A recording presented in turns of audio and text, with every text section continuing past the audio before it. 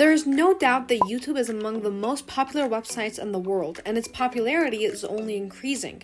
People utilize the platform to disseminate their thoughts and experiences to a wide audience. Celebrities often overstep their boundaries in their pursuit of views on YouTube, but it's still fun to see your faves mess about and be themselves. Hey, Apple! Hey, Apple! Numerous events have occurred over YouTube's existence that have sparked widespread outrage and astonishment on social media. YouTubers may have started off naive, but the competitive nature of the business has led to some absurd and sometimes amusing feuds between video producers and even couples. If you think your crappy crap egg roll can beat my pink frosted sprinkled donuts of awesome, then you're on, cock goblin! YouTube has undoubtedly been the source of a lot of controversy as of late, from feuds among beauty vloggers to real criminal prosecutions. Here is a rundown of the most serious scandals to ever occur on YouTube. But before we continue, subscribe to our channel for more interesting videos.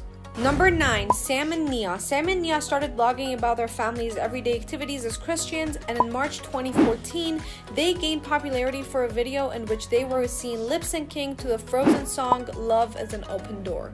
Love is an open door.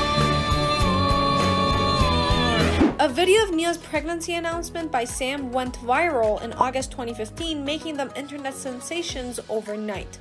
Some people questioned his veracity when he said in the video that he had used his wife's pee that she had left in the commode. It's a pretty clear sample. Nia's miscarriage was revealed in a subsequent video uploaded three days later, giving the skeptics even more ammunition. Immediately after the dramatic change of events, they went on an irregular basis only to come back to the site one month later. After that, Sam's membership on Ashley Madison, a place where cheating spouses meet, came to light. He admitted to having a profile but said he never used it. A few days later, Sam would confront several other vloggers over their remarks about the miscarriage, leading to his removal from the event by security. Questioning us if we had faked our miscarriage. Number 8. PewDiePie. PewDiePie has amassed over 59 million followers, making his channel among the most prominent on YouTube. The Swedish YouTuber known as PewDiePie rose to fame by posting videos of himself playing video games and then ranting and doing comedic vlogs. However, not even the most popular YouTubers can avoid controversy. Because afterwards, you can't go, lol, just kidding. The Wall Street Journal reported in August 2017 that since August of that year, PewDiePie has uploaded nine videos to his channel that included anti Semitic material. All of them have subsequently been removed. Disney's Maker Studio, which broadcasts his videos online, dropped him after the public reaction. While PewDiePie has built a fan base by being controversial, an official from Maker Studio has stated that this time he crossed the line. Yet, even with PewDiePie's status as one of YouTube's top stars, he was apparently kicked out of Google's preferred advertising platform after videos including racist and sexist content caused a stare. What a nigga. Jeez, oh my god, what the PewDiePie addressed the criticism in a post on Tumblr in which he said that he absolutely do not endorse bigotry of any type. He apologizes if any of the jokes I made came off as disrespectful, it was not his purpose. He doesn't endorse these individuals in any manner, as absurd as it is to suppose that I would truly condone these people. The celebrity, though, doesn't seem to have really internalized this lesson. Okay, no, that one is clearly fake, okay? Fake article. What else do we got? After a brief respite, the YouTuber was attacked once again in September 2017 for using the N word on a broadcast, drawing widespread attention and criticism. He made a public statement of regret on YouTube. It was something that I said in the heat of the moment. I said the worst word I could possibly think of, and I'm not gonna make any excuses to why it did, because there are no excuses for it. I'm just an idiot. Number 7. Lonely Girl 15. Bree Avery, then a sweet 16 year old who went by the handle Lonely Girl 15, first started uploading videos to YouTube in June 2006. They consist mostly of her chatting to the camera while sitting at her computer. Regular stuff, but Bree's adorable actions helped her become one of YouTuber's earliest big stars.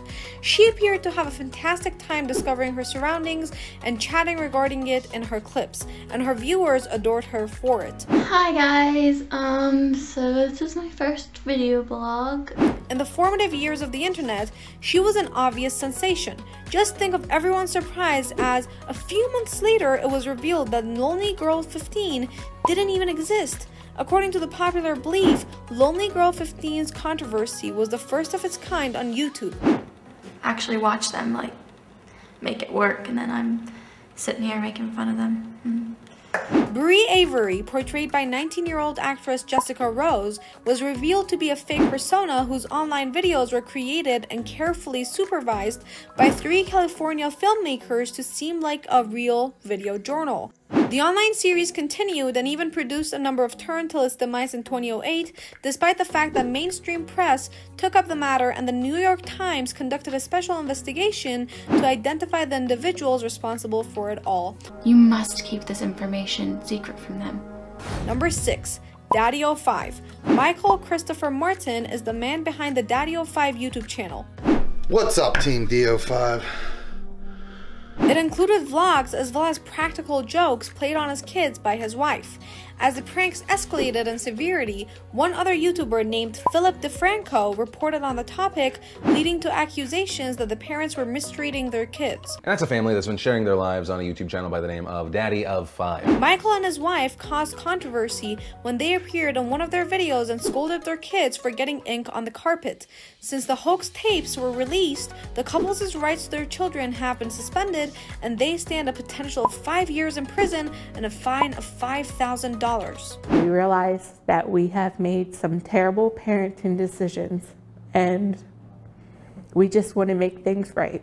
Number 5. Sam Pepper. Sam Pepper, a British YouTuber, published a video on his channel in November 2015 with the title Killing Best Friend Prank. The film included other online celebrities Sam Golbach and Colby Brock, both of whom were being shown abducted by Pepper as he wore a mask. Holy crap, man. Ah! Oh, Pepper, knowing that just one of the men is participating in the joke, brings both men to a roof of a building and shoots the other, leaving Golbach in tears of shock.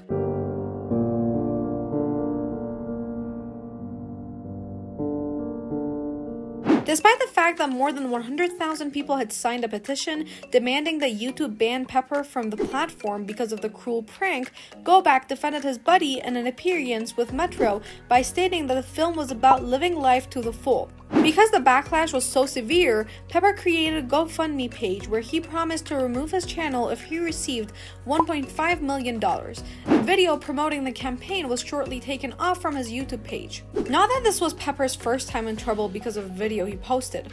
One titled Fake Hand Ass Pinch Prank appeared on his channel in September 2015 and it seemed to show him accosting ladies.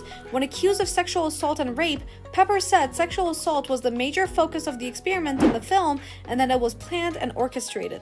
Afterwards, he took the clip off from his account. Number 4. The Brooke Houts Incident. When people hear the name Brooke Houts, they automatically become angry. YouTuber Brooke has been making videos since 2014, but it wasn't until she adopted a dog called Sphinx that she really started to get attention. With Sphinx, she was showcasing an entertaining and mischievous way of life, and the public adored her for it. Except in August of this year, when Brooke uploaded an apparently routine video inside which she sadly failed to filter out several frightening pictures she plainly had not meant for anybody to see, Uncensored Films shows Brooke continuously striking and pushing Sphinx as he attempts to play with her, even though she chats to the video. When he inadvertently started talking in her final scene, she grabbed him, pinned him towards the floor, and yelled at him to stop. Stop! After that, she spat on him. This scene comes to a close with Brooke giving Sphinx one more smack, which causes him to retreat off screen while visibly whimpering out of fright as she approaches him.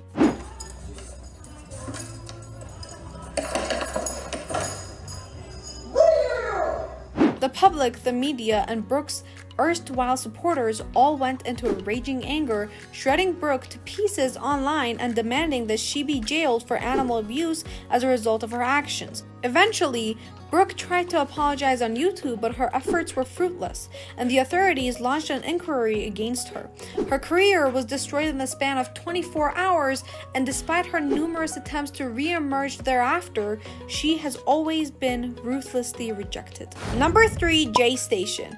People generally agree that J Station represents the absolute worst of YouTube. His poisonous, deceptive, and creepy tendencies have been pointed out by his fellow artists on countless occasions. It's like God doesn't want me to be happy or something. Although YouTube banned his channel and finally erased it, prompting him to start again with a new account. There are still a lot of folks who don't understand why he is even permitted on YouTube. Why? All of this because in 2019, J Station made the decision to stage the death of his lover in order to increase his viewership. And we're gonna say our last goodbyes to Alexia. He went to great lengths to convince his primarily young viewers that his lover, Alexa Morano, had been killed in a terrible vehicle accident and that he had been devastated by her passing. That's it right there.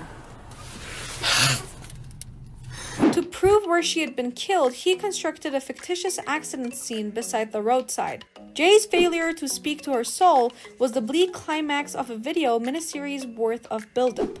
Numerous individuals exposed him as a liar, resulting in him being finally forced to apologize. Subsequently, Alexa's story of domestic violence emerged, in which she claimed that Jay often intimidated and coerced her into doing stuff for the purpose of increasing their YouTube views and subscription count. In the end, Jay was detained and charged with assault with a firearm as a result of the claims. Even though he's now back to YouTube and is uploading content on a regular basis, J Station will forever be regarded as the jerk who fabricated his girlfriend's passing for popularity. Have a good one. See you in the next one, guys. Number 2, Logan Paul filmed a dead body. In terms of widespread outcry, Logan's clip from late 2017 slash early 2018 showing a guy whom have died by suicide in Japan's Aokigahara, sometimes known as the Suicide Forest, is perhaps the largest YouTube controversy ever. It was very obvious that the dead committed suicide even with the face obscured. I'm not even kidding. Do you see it? Remember that most of Logan's supporters are really young people. After they discovered the dead, Logan and his team tried to produce dark humor, but their jokes fell flat and infuriated everyone. As of this writing, everybody from Debby Ryan and Aaron Paul to Jeffree Star has spoken out against Logan's conduct. Logan offered an apology, but the act sparked extra criticism when it was claimed he had tried to profit from it. Uh, like I said, I've made a huge mistake. I don't expect to be forgiven. The YouTuber finally severed relations with Logan entirely by stopping all advertising on Logan related videos, though YouTube quickly reinstated Logan's ability to earn money from his videos. During this period of increase and decreasing value, Logan once again angered people by violating assaulting a corpse. In addition to this video, his subsequent vlogs from Japan revealed how he utterly disregarded Japanese values and traditions and received a lot of blowbacks as a result. Number 1. Monalisa Perez and Pedro Ruiz. To attract more attention to their June 2017 show, Monalisa shot Pedro as he held a heavy book. Right here is a 50 caliber Desert Eagle. And as may have been expected, the ploy backfired spectacularly, taking Pedro's life in the process. It was his plan to carry out the prank. The book wasn't as effective as he had hoped in deflecting the gunshot. He reasoned that because another book had absorbed the impact of the bullet, it must be safe. I just want to see if a 50 caliber bullet can go through a book. By the time of Pedro's death, the pair had already welcomed one child into the world, and Monalisa was expecting another. Monalisa had tweeted, Me and Pedro are probably going to make one of the most hazardous videos ever, his idea, not mine, just before the event, which was terrifying in its own right. The court accepted Monalisa's criminal conviction to second degree murder in December 2017. According to sources in the local press, Ms. Perez entered into a plea arrangement that would see her serving a 180 day prison sentence on a 10 in slash 10 out basis for the initial six months for a total of 90 days in prison. The court allowed 90 days of house arrest.